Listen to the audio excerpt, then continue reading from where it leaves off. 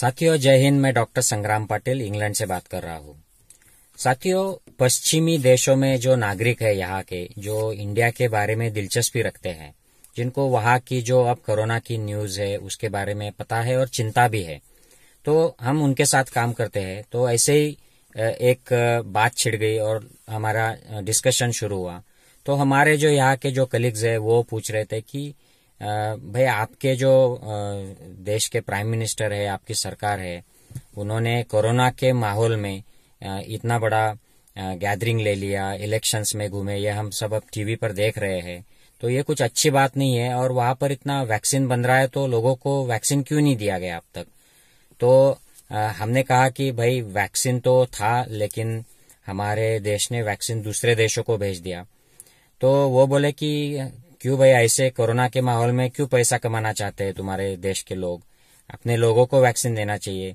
तो मैंने उनको बताया कि भाई ये पैसे कमाने के लिए नहीं, ऐसे ही फुकट में दे दिया वैक्सीन इन लोगों को। और ऐसे देशों को दिया जहाँ पर देने की ज़रूरत भी नहीं थी, वहाँ पर कोरोना इतना ज़्यादा फैला भी नहीं था, लोग मर भी नहीं रहे थे, फिर भी उनको दे दिया और फ्री में दे दिया।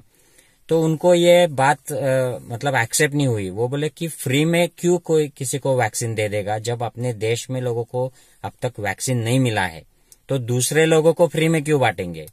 तो कम से कम हमारे लोगों को भी फ्री मिल रहा है क्या? तो मैंने उनको बोला कि नहीं हमारे लोगों को ढाई सौ रुपये लगाकर चार्ज लगाकर और वो भी अब बढ़ने वाला है ऐसे चार्ज लगाकर वैक्सीन दिया जा रहा है।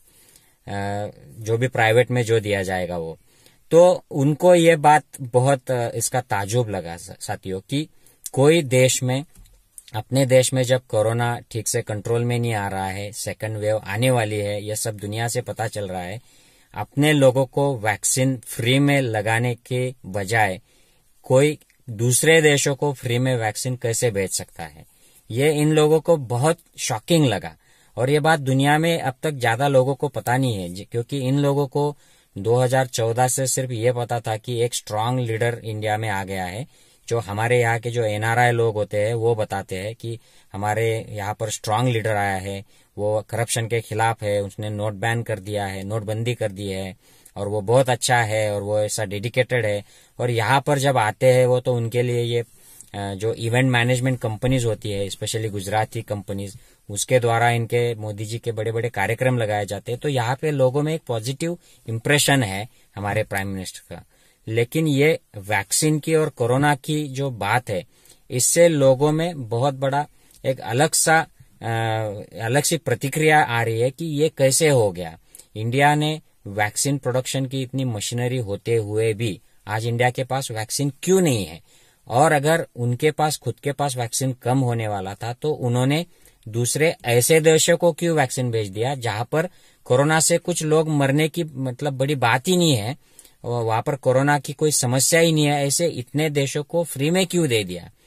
तो साथियों, यही बात हमारे यहाँ पर हमारे कुछ नागरिक उठा रहे हैं, वो कुछ पोस्टर्स लगा रहे हैं, और उनको मोदी जी की पुलिस, दिल्ली की पुलिस जो मोदी के अंडर है वो गिरफ़्तार कर रही है, उन पर एफआईआर कर रही है। तो ये बहुत जायज़ सवाल है साथियों, और ये हमारी सरकार को हमें पूछना ही चाहिए।